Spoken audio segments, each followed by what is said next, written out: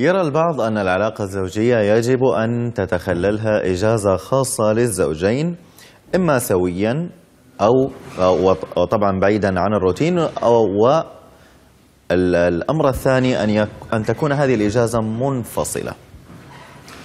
وهذا يأتي منه آه، التحفيز للحب ومشاعر آه، الشوق بينهما.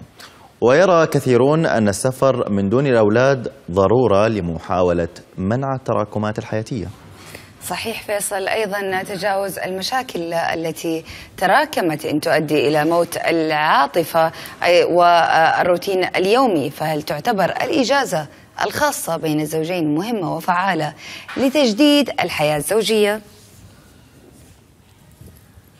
للحديث أكثر عن هذا الموضوع ينضم إلينا من جدة آه، الأستاذ خالد سندي أخصائي نفسي. صباح الخير. صباح الخير. أستاذ خالد وهل فعلا الإجازة الزوجية بمفهومها سواء آه، الزوجين مع بعض أو كل على حدة ما دورها في تجديد العلاقة؟ صباح الخير مها صباح الخير فيصل. آه الحقيقة مقدمتكم رائعة وتختصر الكلام العلمي كله في كلمات جميلة وبسيطة. نعم العلاقة الإجازة الزوجية آه، أو الإجازة العائلية بالمعنى الأشمل كلها تساهم في تجديد مقدار الطاقة في العلاقة الزوجية. بس قبل ما نبدأ خليني أفصل شوية يعني إيش علاقة زوجية أصلا؟ خلينا نقول أنه العلاقة الزوجية فيها ثلاثة أركان رئيسية. الركن الأول شخصين منفصلين مستقلين قرروا أنهم يعيشوا مع بعض.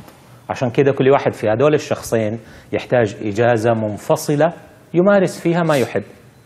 العنصر الثاني أو الركيزة الثانية العلاقة الزوجية دي أحيانا قد تفرض روتين في بعض الأحيان يكون قاتل. فيحتاج الزوجين مع بعض أنه يكون في إجازة تخرجهم من هذا الروتين القاتل في العلاقة الزوجية. العنصر الثالث أو الركيزة الركيزة الثالثة أنه في مسؤولية مشتركة سواء المنزل سواء الأطفال. فتحتاج الأسرة ككل إلى إجازة زوجية يكون آه، كل عناصر الأسرة مع بعضهم للخروج من رتابة هذه المسؤوليات إلى مرح مثلا الطبيعة أو العلاقات آه، المتجددة بين الأسرة.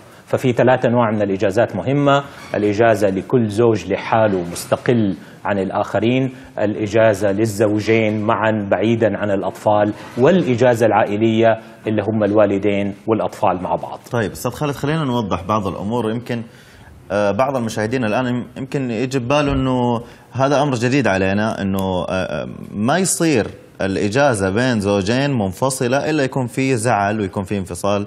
أنا كيف نوضح أنه هذه الإجازة راح تكون بكل رضا بين من الطرفين وكل حب؟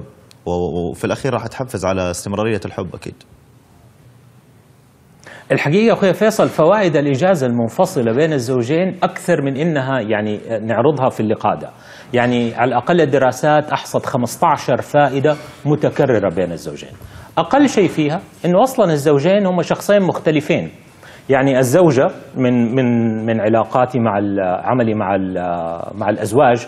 آه، عندي من العملاء من الزوجات اللي جات بعد إجازة منفصلة مع أخواتها تماما وقالت لي تصور لأول مرة أسوي إجازة كما أريد. تسوق تسوق تسوق. الزوج نفس الزوج راح إجازة مع أصدقائه. فقال لي كانت مقاهي مطاعم أكل وشرب ونوم.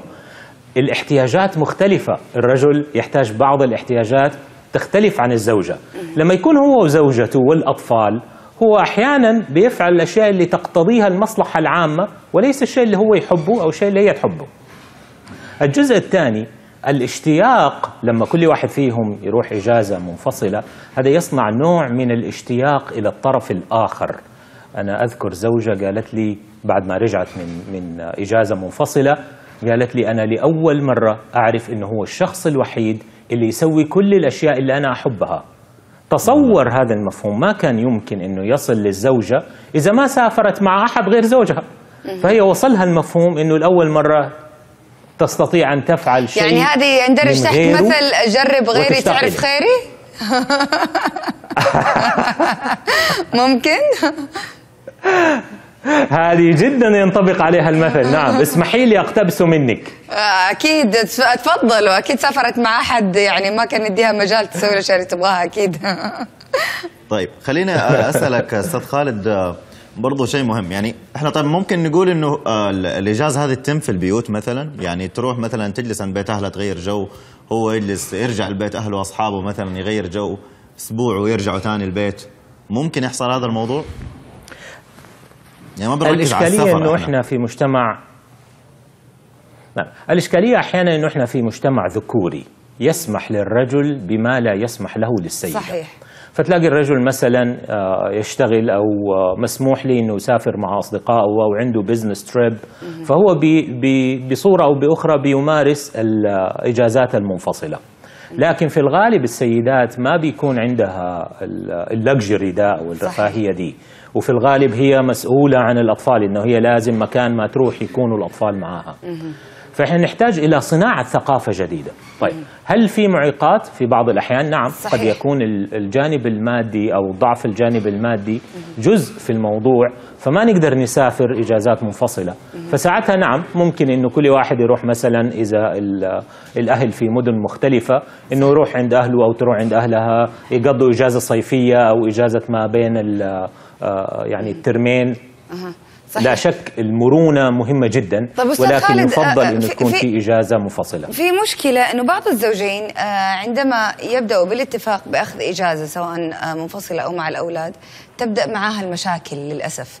يا المشاكل على آه. كيفية الإجازة أو تفاصيلها أو حتى إذا أخذوا الإجازة أثناء الإجازة هذه تحصل كثير من المشاكل. فكيف تكون إجازة سعيدة خالية من آه، المشاكل والمحظورات والنكد خلينا نقول؟ إيش. مهم جدا إنه الإجازة ال- الزوجية ليست بديل عن حل المشاكل. فإذا كان الزوجين بيناتهم مشاكل لابد ابتداء إنه نبدأ بحل المشاكل. الإجازة الزوجية تتويج للعلاقة الجيدة بين الزوجين. لا إذا كان بيناتهم اختلاف كيف نعمل إجازة زوجيه سعيدة؟ كيف نخطط لها؟ كيف نرتب لها؟ الاتفاق بين الزوجين مهم جدا. يعني إذا كانوا الاثنين حيسافروا مع بعض في إجازة زوجية وهم احتياجاتهم مختلفة أو ميولهم مختلفة الاتفاق بيناتهم جيد. كثيرا من يعني من الحالات يكون الزوج من النوع اللي صاحب الصورة الكبرى ال big picture يعني إحنا مسافرين عشان to have relaxation عشان نستمتع بوقتنا. بس يكون الزوجة احتياجها إنه تعرف تفاصيل رحلة كل يوم إيش حيساوي كل يوم. التنسيق بين الزوجين مهم في الموضوع ده. ونحط الهدف الأساسي. إحنا رايحين عشان نستمتع بوقتنا عشان نقضي وقت ذكريات جميلة نذكرها بعد كده مو عشان نتضارب في السفرة اللي إحنا رايحين نرتاح فيها. فمهم الاتفاق المبدئي مهم صناعة وحدة الهدف بين الزوجين قبل السفر والتنازل الفلكسبيليتي واحدة من أهم عناصر الحياة الزوجية اللي لابد أن تكون بين. الزوجين أنهم يكونوا مرنين. مع بعض. صحيح جميل. أستاذ خالد. طيب آه، نتمنى للجميع إجازة زوجية جميلة سواء مع بعض أو كل واحد لوحده. يعطيك العافية أستاذ خالد. شكرا لك.